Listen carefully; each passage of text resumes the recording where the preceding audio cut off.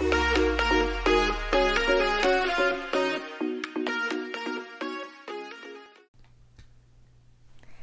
guys, welcome back to my channel. This is Business and Beyond, and my name is Jennifer.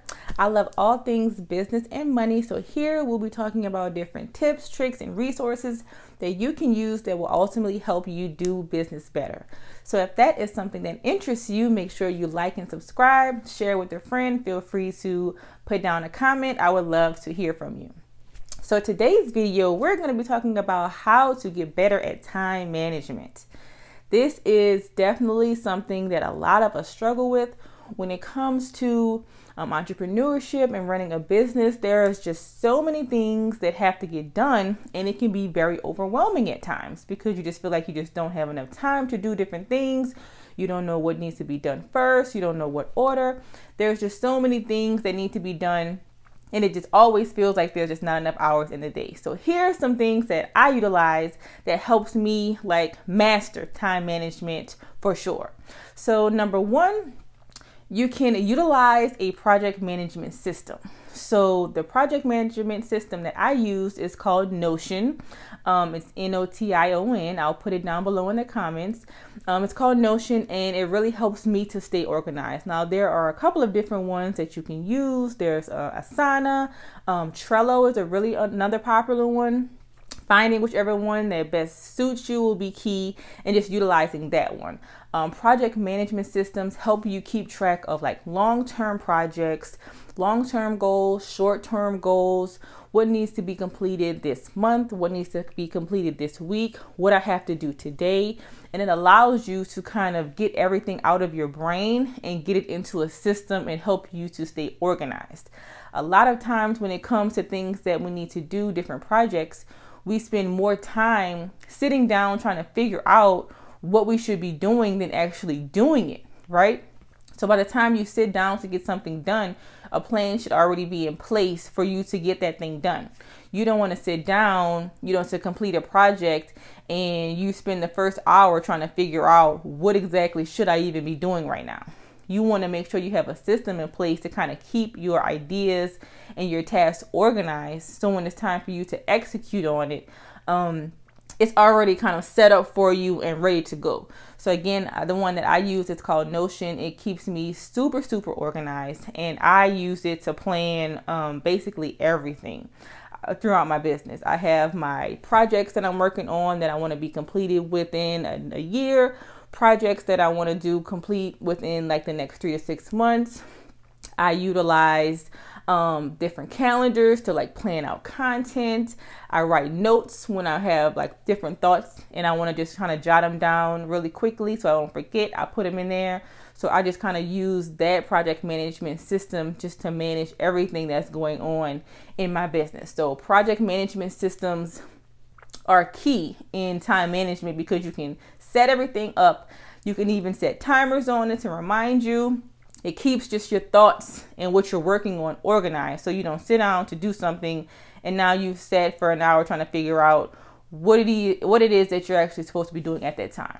The second key to mastering time management is putting yourself on a schedule. And this is probably the most important one.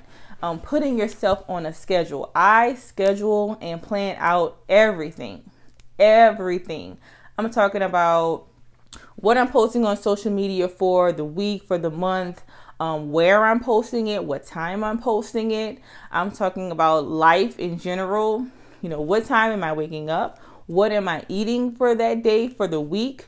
Um, I plan out what I'm wearing for the week, like any errands I need to run for the week. I plan which days um, that I'm going to run said errands which days am I preparing my meals? Which days am I ironing all my clothes for the week? Like I literally plan out my entire life because it just helps you to stay on track.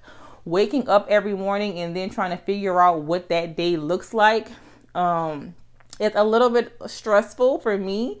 I like to plan everything in advance. So um, of course, things will come up. That's life. You know, something will always come up that may throw your schedule off a little bit, but at least you have it in your mind, like what's going to take place on that day. Trying to do everything just kind of spontaneously and on the fly it's not going to work because just as i just said things will come up.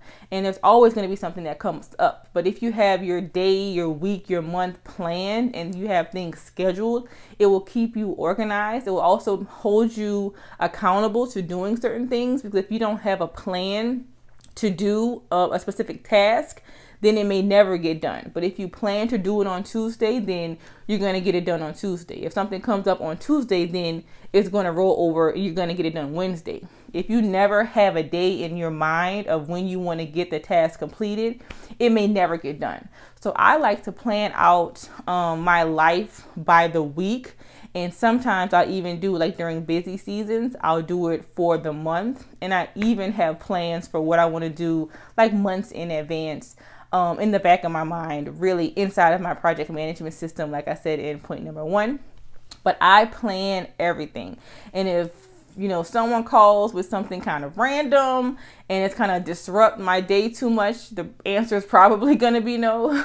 but I like to plan as much as possible because you really just get more things done when you already have it in your mind what is going to take place on that day. And it saves time of trying to sit down and figure out the day. You don't want to spend the first hour or two of your day every day like okay well what's going to happen today? What am i going to go where am i going to go? What am i going to eat? What am i going to wear? What am i going to do? All these tasks are, is something that can be planned in advance. So when you wake up in the morning you already have your schedule for the day ready. You can just get up and go. The third thing that um, is really helpful with time management is time blocking and time blocking is basically when you set aside a specific amount of time um, to do a certain task. And um, you actually do the task that you have assigned for that time. So, for me, let's say Saturdays, I time block in the morning on Saturdays to actually record YouTube videos. On Saturdays, you know, between the hours of like 10 and 12, I do my recording. Um, and that is the time that I set aside to record videos for the most part. So um, during that time frame, that's what I do.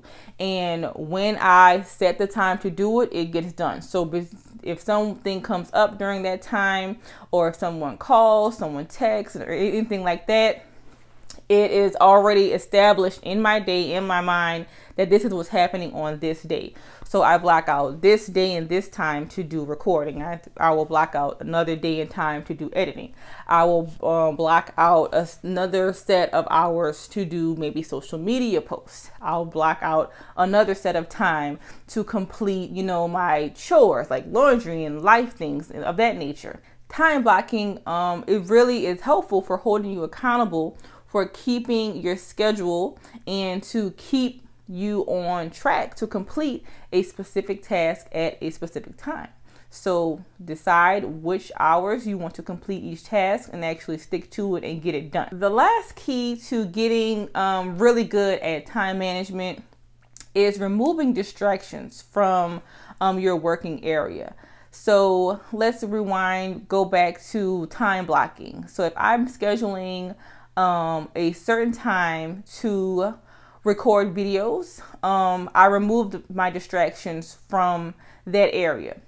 So I do not have my phone nearby. My phone is on do not disturb. I don't have TV on or anything else on. Like I I create the area that I need to be the most successful. So I know if the TV is on, I'm going to be distracted trying to record and watch TV. If my phone is sitting right here and it's on ring, every time I hear a notification, I'm going to want to look down and see um, who's calling or who's texting. So that's why I put the phone in a completely different room.